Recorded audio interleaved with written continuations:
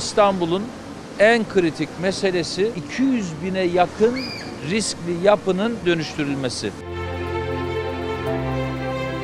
Çok yakın bir tarihte hatırlarsınız Zeytinburnu Sümer Mahallesi'nde bir binamız kendiliğinden çöktü. Bir anda yıkıldı zaten ya. Nasıl oldu? Yani Allah'tan kimse yoktu içinde. İşte bu görüntüler bir daha yaşanmasın diye İstanbul Büyükşehir Belediyesi bu bölgede çalışmalara başladı. Zeytinburnu'nda açılan katılım ve çözüm ofislerinde vatandaşlar riskli yapılarına çözüm bulabiliyor.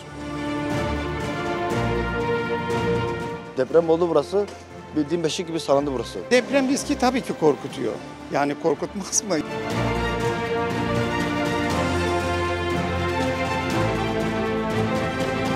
Daha önce gün gören Bağcılar, Şirin Evler bölgelerinde ofislerimiz hayata geçti.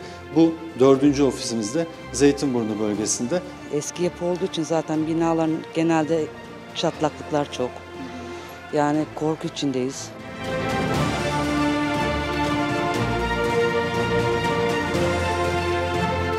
Zeytinburnu, Sümer Mahallesi ve çevresindeki mahallelerde bir çalışma başlattık. Hızlı tarama yöntemleriyle burada neredeyse e, 3000 binaya tek tek giderek tespitlerde bulunduk.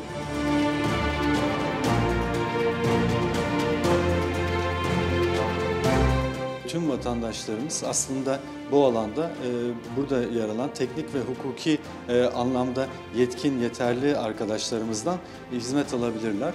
Burada sorularını yöneltebilirler. Arkadaşlarımız kendilerine her konuda yardımcı olacaklardır. Vatandaşta burada hani e, birebir bilgi edinmesi noktasında çok faydalı olduğunu düşünüyorum. Çünkü vatandaşın kafasında bu konuda çok değişik soru işaretleri var. Amacımız yine insanımızı korumak ve afetlerden sonra insanımızın iki ayağı üzerinde bu konutlardan çıkmalarını sağlayacak bir altyapı nasıl kurgulayabiliriz? Bu soru işaretlerini gidermek olacak.